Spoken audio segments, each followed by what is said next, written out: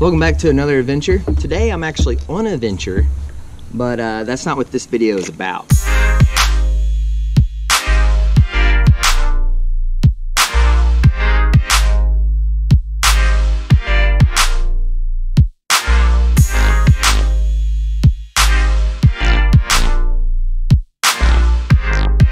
So uh, in this video today, you're going to see some pretty common kayak mishaps. You know, getting in and out of your boat, there's always going to be some issues there, especially if you're a beginner. It never fails. I always lose something off the side of my boat, whether it be something important or something minor.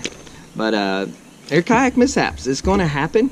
You want to plan for the worst, but at the same time, you want to laugh and then look back and enjoy those moments as well. So I hope you enjoy this kayak mishap video, and let's get to it.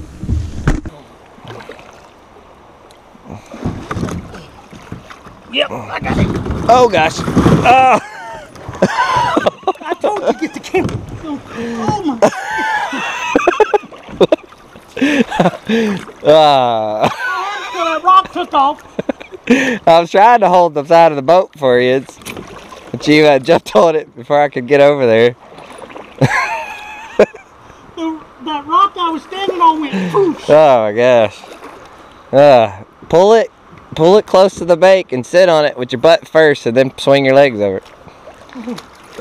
Pull it close to the bank. Your rudder's cleared. It, it'll be okay to drag on a rock or two, but Where's that rock? It disappeared.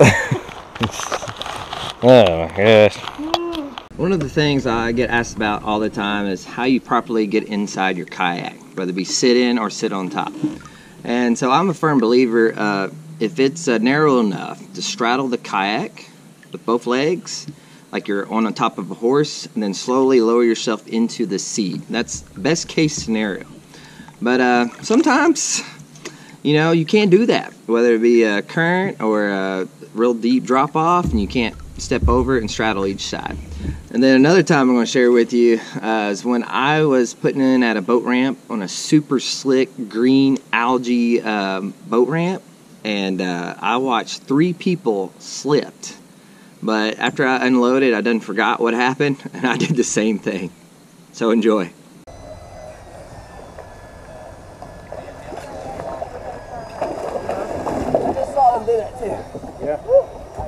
On this day, it was rainy and I was fishing a river for some trout, and the current with the rain and the wind was a huge issue. But, anyways, uh, my GoPro in the back behind me here wasn't working at all. I was like, well, that's a problem because uh, I just caught three trout. I'm like, I'm in a good spot. I need to go ahead and fix the situation. And then uh, while I was reversing the seat, I was trying to adjust my GoPro. Uh, I started swinging. Now in this sit-in kayak, it's not easily I can jump around and try to adjust real quick. I was trying to ride it out, but I forgot about my paddle, and it just I left it basically. So it never fails. You're going to lose something off the side of your boat. I mean, the things I've lost the most would be fish pliers, right? Uh, you know, after I get a fish off, I'll put them in my lap, and then I'll forget about them. I'll start fishing again, and all of a sudden, it done dumped off. I'm like, oh. And so pliers are like the number one, I believe. Uh, I wish I had it on video, but I did lose a nice foldable net, and uh, it somehow just dumped out. I wasn't paying attention. Here's a little funny part in the video where I try to salvage and try to get my paddle.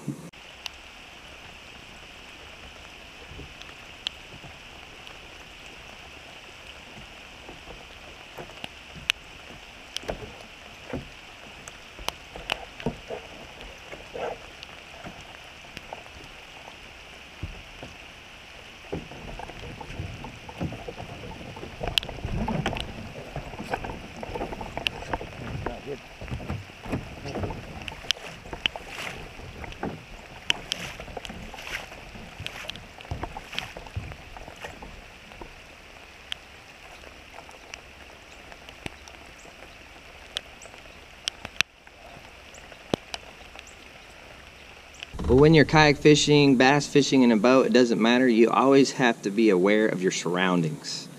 These next few clips is where I wasn't really paying attention. I was paddling along, I was excited, or uh, just looking for my next cast where to throw, and I ran my poles into uh, you know a limb or two.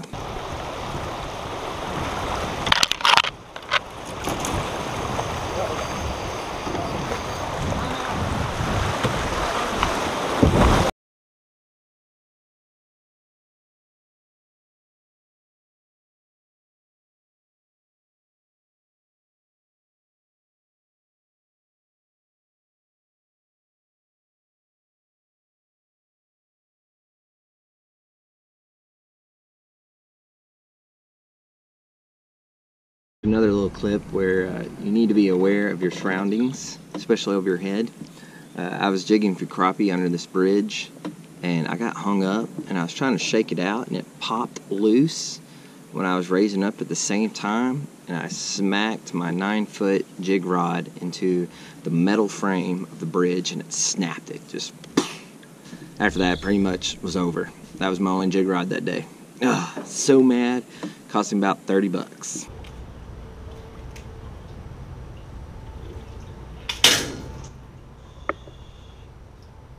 Well, here's a few more clips that I thought was pretty comical, so enjoy.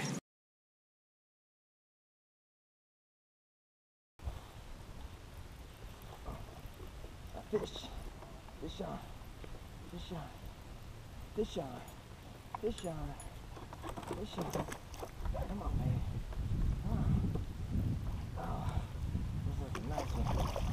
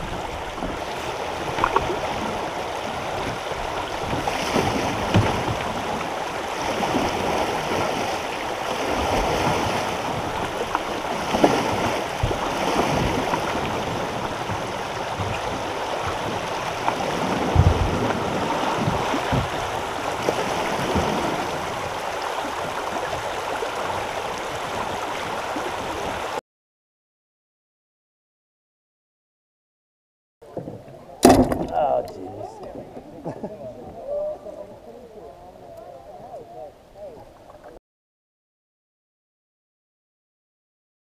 ah. Oh, gosh. I should have got off about 30 minutes ago. Ah. Here's those 20 miles per hour winds. Ah. Ah. This is a bad idea. This is a bad idea. Oh gosh. It's here.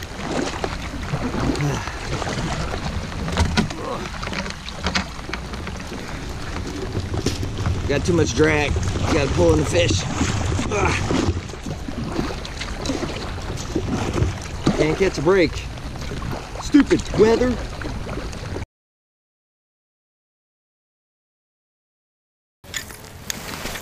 Oh shoot. Da, da, ah, no.